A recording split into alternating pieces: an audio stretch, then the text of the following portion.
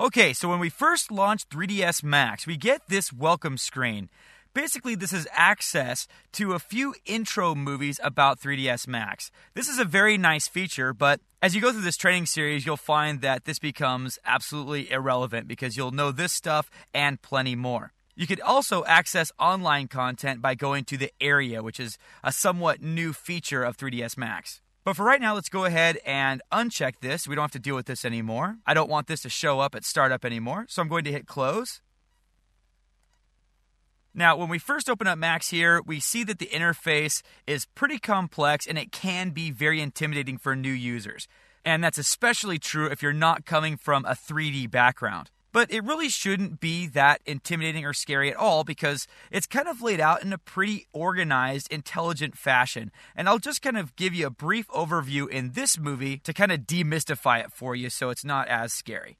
Now, I'm well aware that interface movies are probably the worst part of any video training series, and it's not exactly like bringing a werewolf to life or making Great Balls of Fire, which we're going to do later. But I'll make this quick and basically only what you need to know. And again, this is just an overview, and the rest of the movies in this chapter are going to go uh, a little bit more in depth into specific features of the interface. Now, the main area here that we're seeing are the viewports.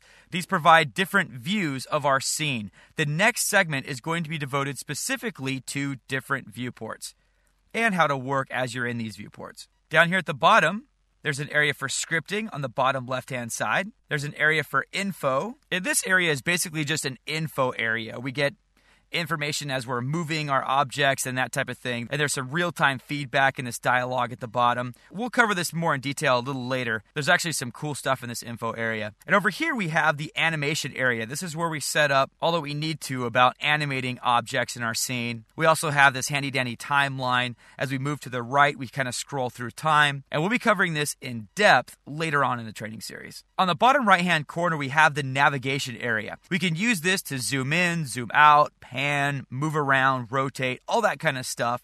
And we'll be talking about this in the next chapter, actually. Over here on the right hand side of the screen, we have the command panel. This is where you will be spending an unbelievable amount of your time. Now, with all the pretty little icons and doohickeys over here, it's very easy to get confused and to be intimidated because there's just so much going on. But again, just like the rest of the interface, it's organized in a very logical way. The core part of this here are the tabs along the top. Over here, we have the Create tab. And so this is where you'd want to go if you wanted to make something, if you wanted to make an object, or a light, or a camera, or any one of a number of things, you would want to make sure that you're under the Create tab. By default, if we're under the Create tab, we're going to make a standard primitive. So let's go ahead and do this. Watch how easy and fun this is to create in Max. Now, I realize that we're just talking about the interface here, and in the next chapter, we're going to be talking about navigation, and we're not going to talk about creating stuff until chapter 4. But I want to give you a little teaser here because this is so fun. When I first opened up 3ds Max for my first time, I was blown away by how easy it is to create three dimensional objects.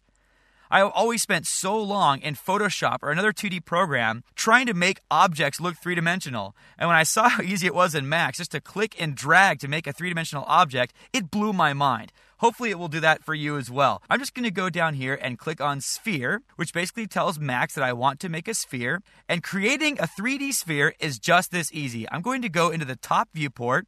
I don't have to click anything yet to select the top viewport. Just click and drag to set the size of my sphere.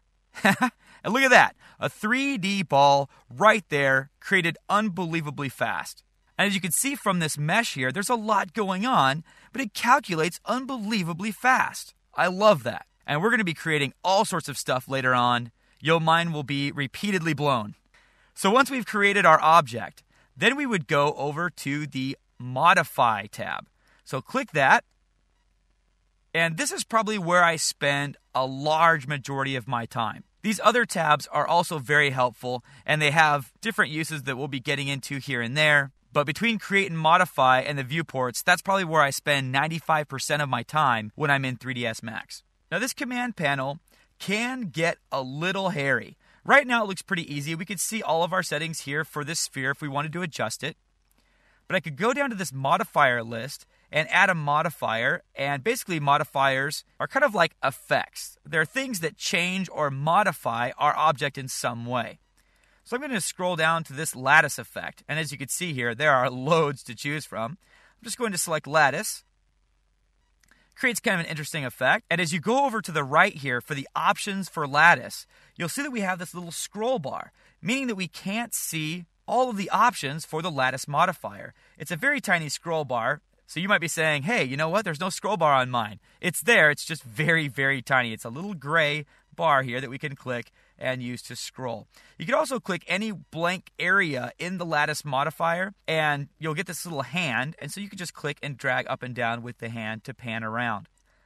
Also, in the modify panel, you'll see this little dash. This can be really helpful for cleaning up things a little bit. If I click it, it will collapse this parameter, which is actually very helpful, especially if you have multi parameters in one object. And of course, we could click the plus to expand it and see all those properties again. On the top of the interface, we have the main toolbar. These are the main tools and features of the program that you will use most often. Be aware also that just like in the modifier stack, you're not seeing everything. So when you get this little hand, as I have now, you have to click and hold it, and you can scrub to the right, and there's more there. Now, this changes according to the resolution of your monitor. So it's quite possible that you might not be able to scroll because you could be seeing everything if your monitor resolution is high enough. And finally, we have the menu bar at the top. And the only reason I mention this is because throughout this training, I'll be saying go to the rendering menu or go to the customize menu. And every time I say that, just remember that I'm indicating that you should go to the top of the screen here at the menu bar. Now, that's the overview of the interface. It wasn't that tough. So let's go on to talk about viewports, the all important viewports where we will be doing the majority of our work.